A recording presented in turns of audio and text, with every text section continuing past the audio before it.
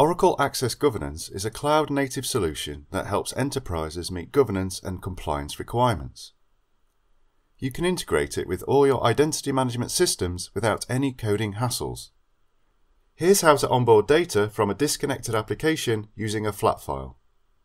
First, let's perform some pre-configuration tasks on the OCI tenancy.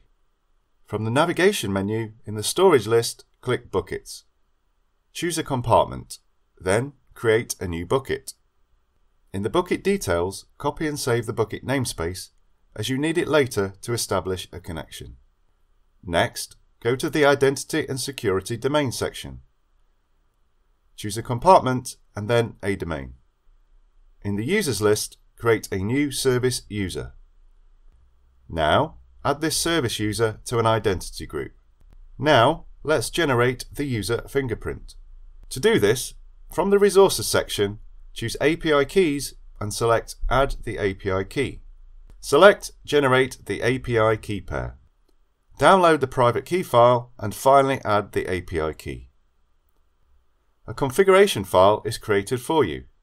Save this information as you'll need it later to set up the connection in the Oracle Access Governance console.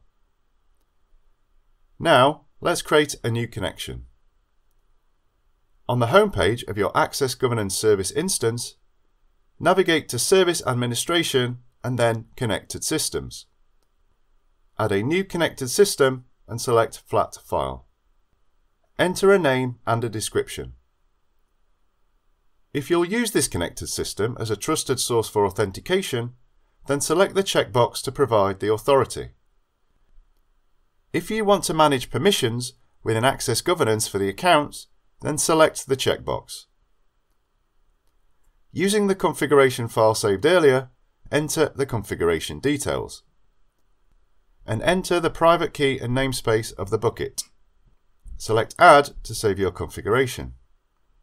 Verify the connection by checking to make sure folders exist in the object storage. Navigate to Resources and then Objects. You should see Failed, Inbox, Outbox, Sample, and Schema folders created for you.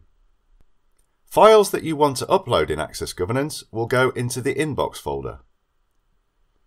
CSV files that have data issues are moved to the Failed folder. Accounts provisioned by Access Governance reside in the Outbox folder.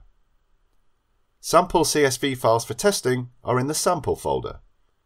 Finally, the Schema folder contains the JSON representation such as mandatory attributes and data types. Now, let's do the data load operation. Download the sample files from the sample folder and then upload them in the inbox folder. Now, in the Oracle Access Governance console, go to Service Administration, Connected System, and select Load Data Now. After a few minutes, you will see a success message. It's time to activate the identities for access governance. This is a crucial step for license management. Go to the Manage Identities section and set the status. Here, the condition is set so that the identities whose status is active should be loaded. In the preview summary, you can see a total of 50 identities will be available. You can verify these identities from the who has access to what section. And that's it.